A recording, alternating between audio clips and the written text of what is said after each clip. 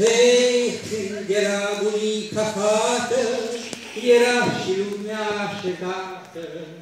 Nevestele erau neveste, nu se țineau caz de feste, erau maestre în sarmale, nu se purtau cu pijamale. Creșteau copii în covată,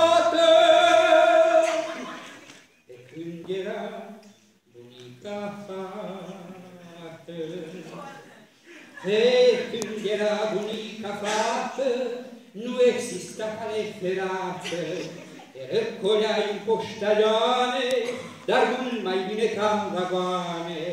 Treceai pe atunci tranca fleanca, dar nu crăpai ca fiind chileanca. Și totuși ajungeai odată, de când era bunica fată.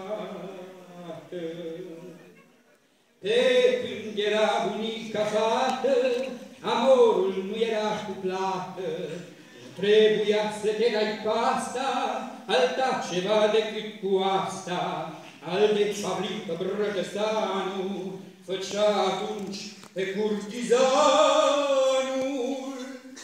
Dar de el ce să spun, mai tată, de când era bunica fată, pe când era bunica fată, și dragostea era curată. Fetițele începeau roanța, în deget când puneau alianța. Azi fata mare se cunună, pardon, când e a treia lună. S-o fi tristat cu ani vreodată, de când era bunica fată. Pe când era bunica fată, bătrânii de erau în față.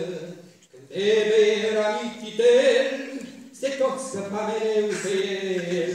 Vin și la fâncea la școală și repetent la socoteală. Dar țara ea era curată, pe când era bunica fată.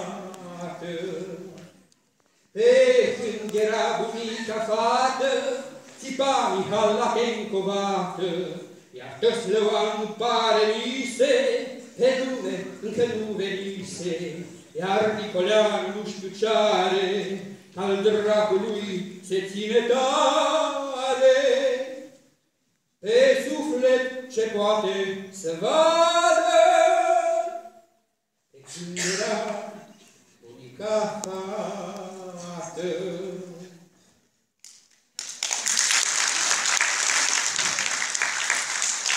Altă chestiune, scoaterea la pensie. Astăzi ești funcționar, însă mâine pensionar.